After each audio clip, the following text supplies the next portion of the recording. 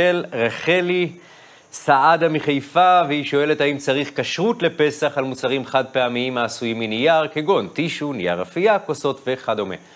איך אדע איזה מוצרים צריכים הכשר?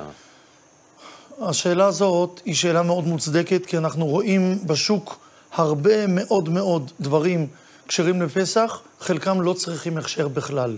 וזה נכון שהם לא צריכים הכשר. רק מה, אנשים טועים ומבקשים עליהם הכשר, אז ניגש גוף ונותן עליהם כשרות, ולא צריך, באמת לא צריך. רוב מוחלט של מוצרי הנייר לא צריך עליהם הכשר. צריך על נייר אפייה. צריכים לזכור, הסיבים של הנייר, אני רק אסביר אולי מה הרקע לשאלה. סיבי הנייר לעיתים מחברים אותם, היו מחברים אותם בכל מיני עמילנים וגם בעמילן חיטה. ולכן אולי בזמן של אכילה ושתייה, הטעם של המילן החיטה שנמצא בכלי עלול לתת טעם במאכל או במשקה. זה יכול להיות נכון, אבל זה לא קיים בפועל רק בנייר אפייה. מעבר לכך, כל יתר המוצרים לא צריכים לחפש.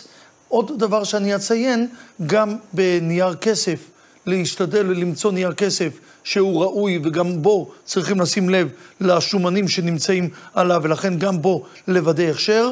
כל יתר הדברים לא צריך הכשר, כל יתר הדברים הללו, גם חומרי ניקוי לא צריכים לחפש כשרים לפסח, ואפשר יהיה להשתמש במוצרי הטואלטיקה הללו גם ללא הכשר. השאלה טובה ובמקום, כי אנחנו רואים הרבה דברים עם החותמת, ובאמת לא צריך. הרב, שאלונת קטנה, כשאני רואה על משהו כשר לפסח במשך השנה, זה בהכרח אומר שהוא כשר באופן כללי?